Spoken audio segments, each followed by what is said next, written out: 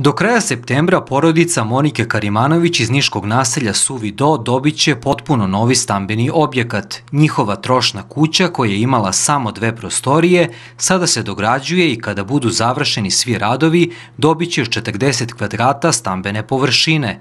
Počeli su radovi na dozidavanju kuće, izgradnji stepeništa i mokrog čvora. Sve radove finansira grad Niš.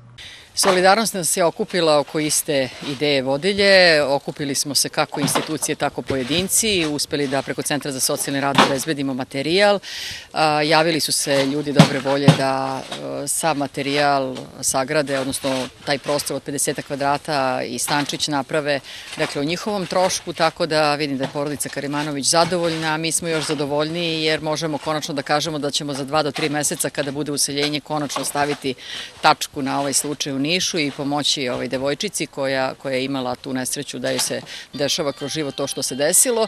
Tako da, da mislim da, da smo zaista svi zajedno učinili jednu plemenitu stvar i kada vidite njen osmeh, osmeh njenih roditelja i zadovoljstvo, onda znate da ste učinili pravu stvar.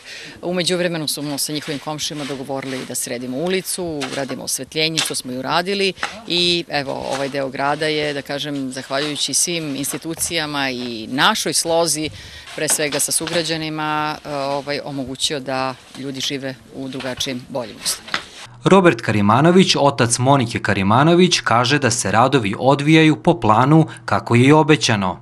Ja sam veoma zadovoljan, ovaj, ovaj, ono što smo dogovarali, to je i krenulo da se radi pre nekih dva meseca, tako da bi teo da se zahvalim gradonačelnici, normalno i gradu Nišu, što su izašli nama u susret, tako da hvala puno svima onima koji su pomogli. Mi se, nadam da ćemo da se uselimo za nekih dva do tri meseca. Normalno prioritet je bila Monika da dobije svoju sobu. Inače, radovi na kući porodice Karimanović započeli su pre dva meseca. Gradonačelnica se ovom prilikom osvrnula i na svoju nedavnu posetu ruskom gradu Kursk, sa kojim je grad Niš obnovio bratimljenje. I s ponosom kažem da sam prvi gradonačelnik koji od 2006. godine, kada je taj dokument potpisan, do danas ovaj, posetila Kursk. Zanimljivo je da su umeđu vremenu privrednici iz Kurska izrazili spremnost za otkup oblačinske višnje, na čemu radi upravo naš većnik za poljoprivredu. Uspeli smo takođe da dogovorimo i neke drugu, neku drugu vrstu saradnje, pre svega preko Naučno-tehnološkog parka. Diplomatska aktivnost grada Niša treba da ostane na ovom nivou, dodaje gradonačelnica Sotirovski i da se o Nišu podjednako čuje u inostranstvu kao i o Beogradu i Novom Sadu.